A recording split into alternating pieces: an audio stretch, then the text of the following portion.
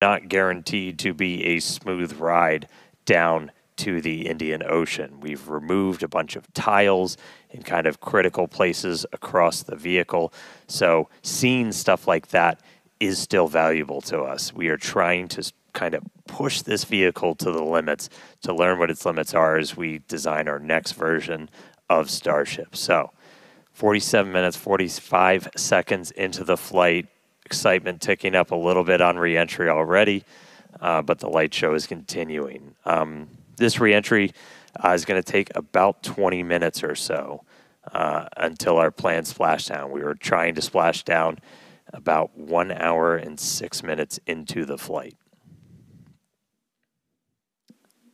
Yeah, and one day Starship is designed to land on Mars where there are obviously no runways or other humans to help us out. So we are doing propulsive landing instead of more traditional means such as parachutes. And propulsive landing enables us to have more rapid reusability with these vehicles. Yeah, the, sh- the ship itself, it's a little, little over 50 meters tall. Uh, we've got those six engines on board, the three vacuum the three sea level, and they're down in that aft region, which flaps have control. All right, so at this point, the flaps have control. That means we're getting into a dense enough part of the atmosphere that the flaps can start controlling us. We're not only reliant on those kind of reaction control system thrusters. We're going to continue hearing some callouts as the ship makes its way back to Earth. So when we hear entry max heating and entry max Q, that will mean the ship has made it through the maximum heating and aerodynamic loads it will experience as it returns. So if it makes it through those, uh, we can say we're doing pretty well. I will say I'm happy reentry cleaned off this camera for us. It was a little dirty from the weather, so thank you Plasma for giving us this view as we start coming down.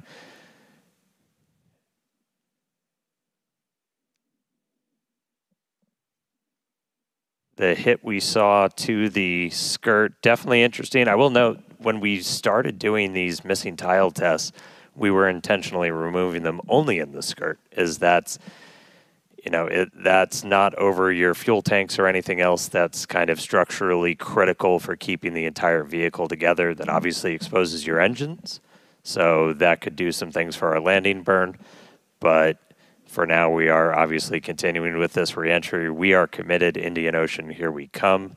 50 minutes since launch. We're going to see those colors start to build up a little bit. We are at the point where it's we're in dense enough atmosphere that the flaps have control. So about 74 kilometers in altitude. and you were starting to see some sunlight. So we intentionally time these launches right now so we have daylight. The sun should actually come up over the horizon on Starship in about three minutes. So as we get a little bit further into this reentry, that inky black below you is going to start to look like clouds and hopefully a bright blue ocean as we make our way down onto the other side of the planet.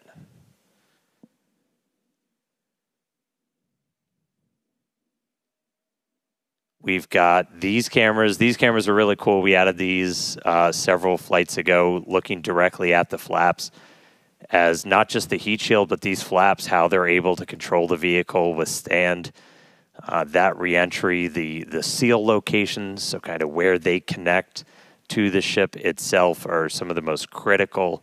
Um, we will do missing tiles on those where again we're we're trying to we're we're kind of being mean to this starship a little bit. we're we're really trying to put it through the paces and kind of poke on what some of its weak points are. I mean, we even have missing tiles over some of those fuel tank uh, sections of the ship itself, and so we're we're really trying to see what are our limits. We're doing this over a completely empty area over the Earth.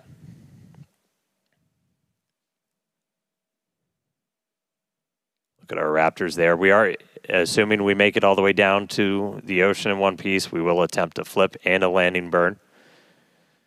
We do have at least one buoy, everybody's favorite camera person, out in the Indian Ocean right now, being powered by Starlink.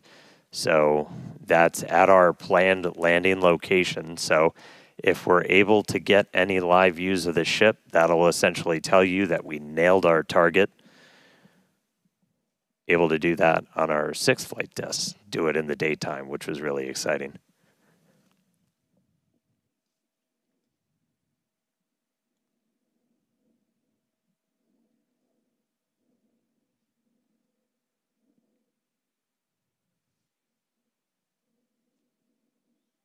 All right, so we're about 10 minutes until we're probably going to start hearing some of the other big milestones coming up.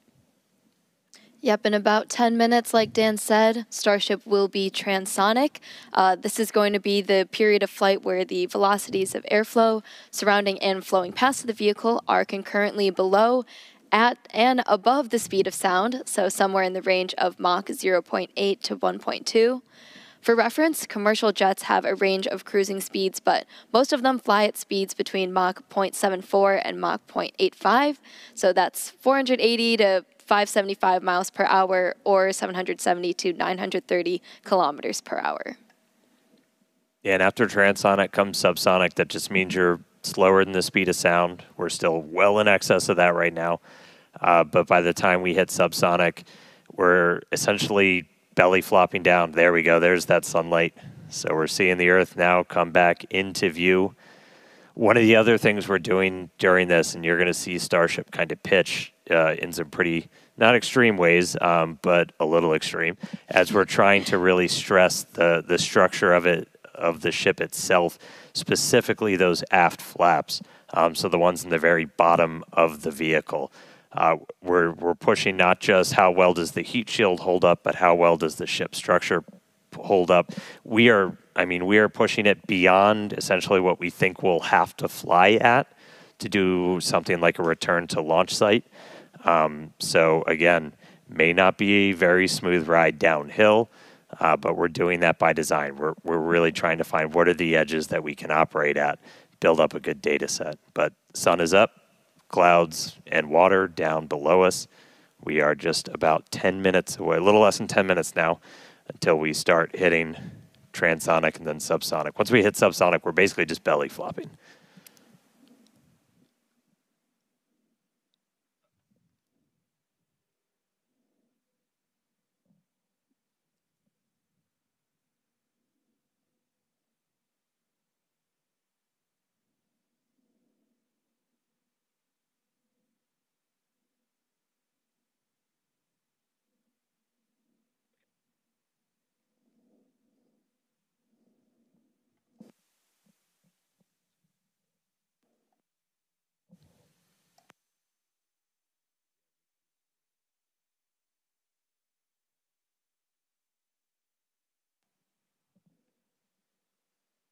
All right, so about 55 and a half minutes in, you can see the sun is up. Again, we intentionally designed these flights to lift off in the evening here so we get these daylight views so we can get as good a video as possible on the ship, assuming we make it all the way down. We've got at least one buoy powered by Starlink that's out there in the landing zone in the Indian Ocean, hopefully giving us a view again.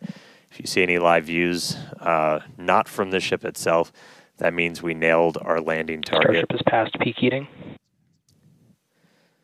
All right, we just heard the call out that we're past peak heating, so things are looking good so far. Yeah, looking good.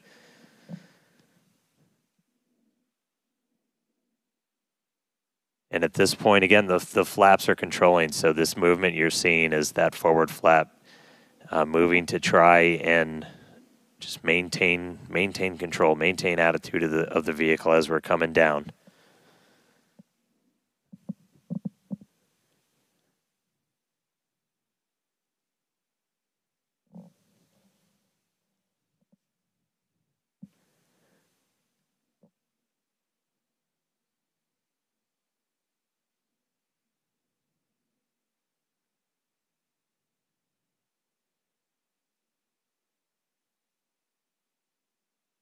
Checking in on one of our flaps. We got one of these cameras on all four of the flaps, two in the front, two in the back, giving us really good close-up views. As we're, we're we obviously don't have a camera that can see the entire heat shield. Uh, that's these give us kind of the best that we can do. Um, but looking at those flaps is really, those are just, you know, super critical for controlling the ship. Uh, you have some ability to uh, maneuver kind of cross range. So as you're as you're coming in, you can see you can see in that indicator in that indicator at the very bottom right uh, that we've pitched up quite a bit. So again, we are we are maximally stressing those aft flaps right now. Looks like we got a little bit of burn through the very bottom part of it. Everything's still looking good. Ship maintaining control.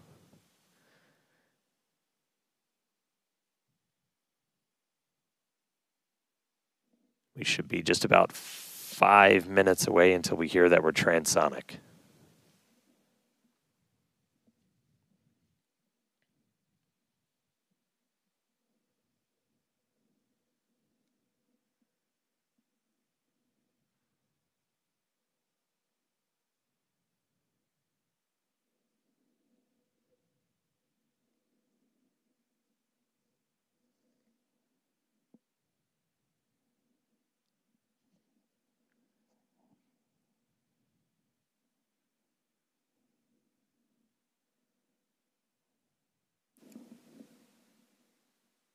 Still a little bit toasty on the aft skirt of the vehicle as we continue coming in. Again, we are intentionally stressing the flaps so we can learn all we can.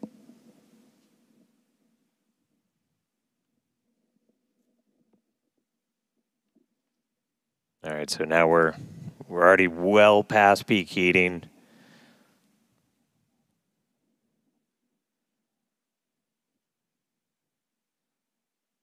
Just about 48, 49, counting down to 48 kilometers in altitude. Expecting that transonic to come. So transitioning between the speed of sound and subsonics lower than the speed of sound in just a little under four minutes from now. And right now, we've got kind of a lot of forward momentum, a lot of forward velocity. Uh, and then eventually, by the time we hit subsonic, all right, here we go. So this is what we've been talking about, where we are going to essentially try to fully deploy those aft flaps and really stress them out. So again, this is meant to test the extremes for the vehicle.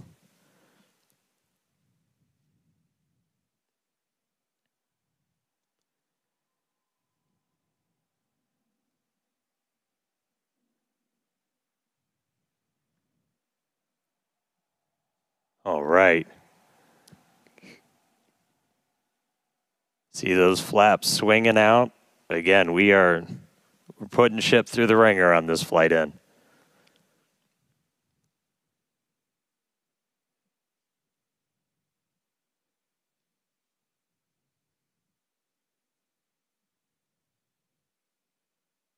It's like we're still maintaining control.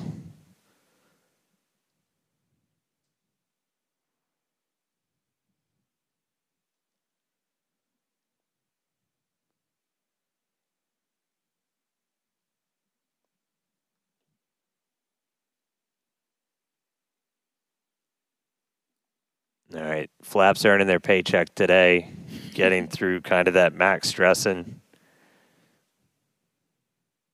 Definitely things looking good so far. We're about two minutes out now from Starship becoming transonic. One cool thing to note as we get some of those views showing kind of the, the whole length of the ship, uh, one of the changes we made after Flight 6 was to uh, change the tile line a little bit. So we had kind of scaled back the number of tiles significantly. As when we go to catch these ships, you don't want to. I think as Elon said, you don't want to shuck the the ship as you catch it and knock all those tiles off. So we knew we were going to have to kind of peel back that layer a little bit. And the first time we did it was on Flight Six, and we saw kind of wrinkling and dimples almost in the ship as we were creating these hot spots in the uneven parts of the heat shield.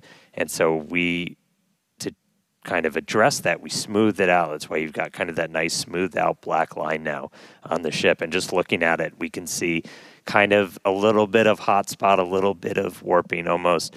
Uh, near the payload door, you can see a little bit of colored patina up above it, but we don't see those kind of deep uh, almost, you know, they almost look like gouges uh, on that. So it looks like that's that's been pretty successful. So, all right, we are less than a minute away from from hitting transonic.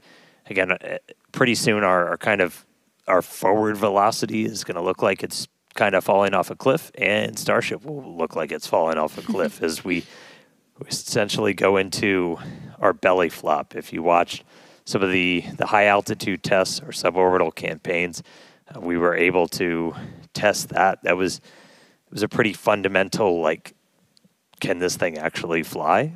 Um, and we were able to prove that out with that suborbital campaign, uh, and that's what we're about to see shortly here.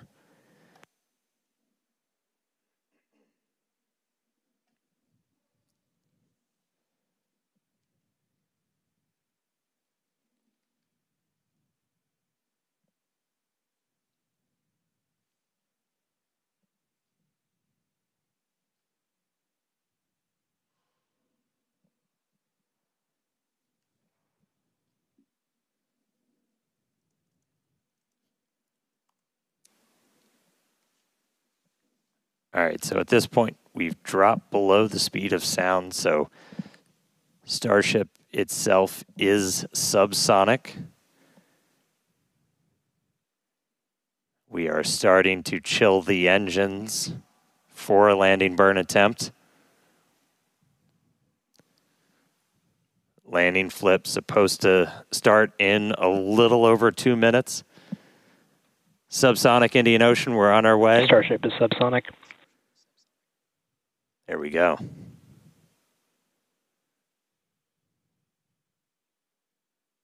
Farewell space.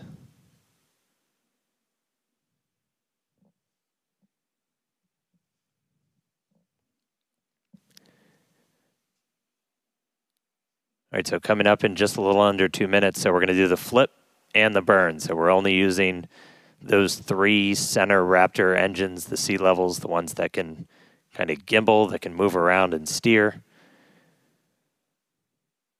Dipping the nose down a little bit.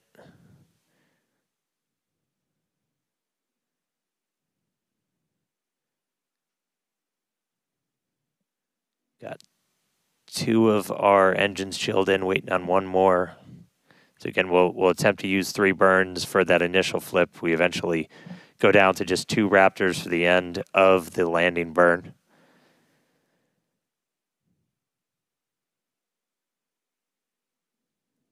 Just about one minute now from that landing flip and landing burn start.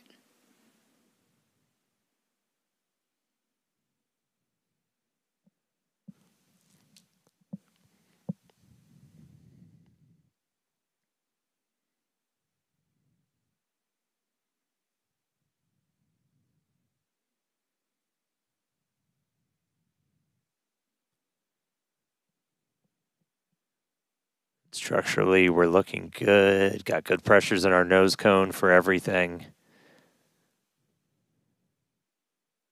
Just about 30 seconds. So again, we're going to look for the flip. So Starship's doing its belly flop right now. We're going to do the flip. Swing out. Let's punch through some clouds first.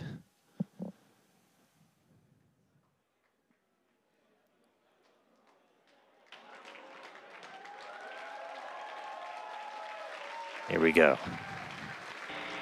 Starship landing burn startup. Seeing three engines. There's our flip. There's a buoy. Oh There's a splashdown.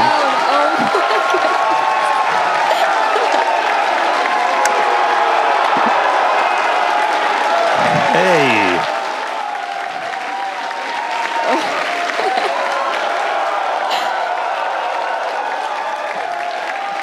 Oh man, yeah. Farewell, ship 37. Thank you, buoy cam. Landing flip, landing burn, splash out of the Indian Ocean. There we go. All right.